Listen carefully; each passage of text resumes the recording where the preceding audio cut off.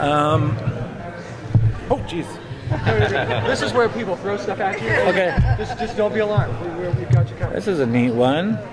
That's the coolest one. So everybody else told us everything about the next season. Yeah, they've opened up pretty, pretty much. Huh. I sense bullshit.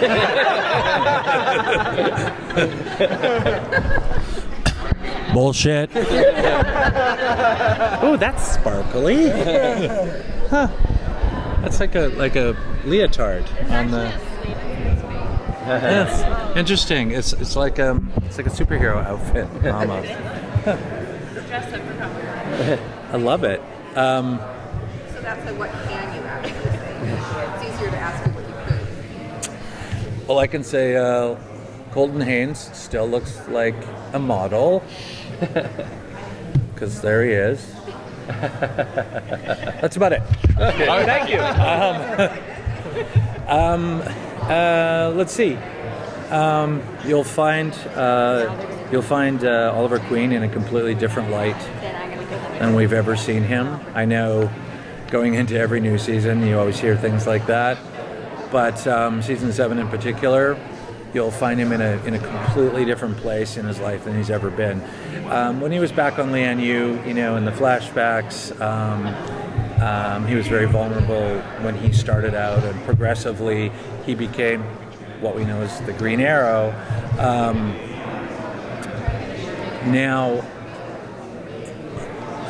I would say that we can look at season seven as a new start, if you will, a new progression in uh, his character, within his character, um, and what you get to see what. Um, hopefully, we're painting the picture uh, properly, but you get to see what prison uh, prison life would actually, how it would affect a human being, even someone as strong, um, both mentally and physically, as uh, as the Green Arrow is. Um, we'll get to see how prison life affects even the strongest of people, and how it can break you down, and how it can. Um, I know it sounds all very dark, because it is. um, and uh, our goal is to try and portray um, at, w- within our you know within our established uh, established uh, mythology, uh, um, try to portray our, our uh, the prison as realistic as humanly possible, you know, as you can, while keeping, you know, as I said, our established uh, established mythology intact. Um, but we're trying very hard to be as technically correct with uh, different aspects of the pr- policies and procedures that you would find within a prison. Um, so I was uh, myself a uh, corrections officer uh, at, in, while I was very young, um, you know, a couple of years ago, um, long time ago. Um, and uh, so we're trying to, um, you know, research and and keep it. Yeah, obviously we're taking liberties because it's a television show. Um, but uh, I love Rick Gonzalez's shirt.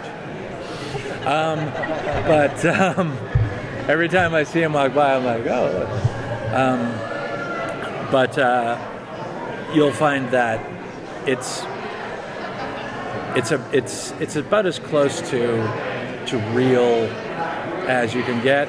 Bar, I mean, it's not Oz, but um, That's good enough. but uh, yeah, well, because we, you know, we're not HBO, so we can't go there. Um, we would if we I'm sure were. Stephen's very happy about that. Yeah, no, he's uh, he's he, he you, like I said, you'll find him a, a different person and how he sort of handles himself within the confines of, of, of the structure of the prison, and you'll see some new character development as a result of that, and uh, and then the same thing for the other characters outside of that, how they're dealing with their lives while uh, you know their team captain is is incarcerated, and uh, what happens after he tells the world, I'm the Green Arrow. You know, it doesn't only affect him uh, in a certain way, but it affects everyone else. Um, all the other vigilantes effectively have been outed as well. So, how the hell do you go on with the rest of your life? Um, not to mention, where's Ricardo Diaz? We did throw him off the roof. I actually, I personally threw him off the roof in, in my finale last year, but. Uh, we saw him land in the water, and um, we also saw that he's still alive in the montage at the end. So there's a lot of ifs, and the season could go anywhere, and it's going to. Thanks, you guys. Thank you very much. Thanks.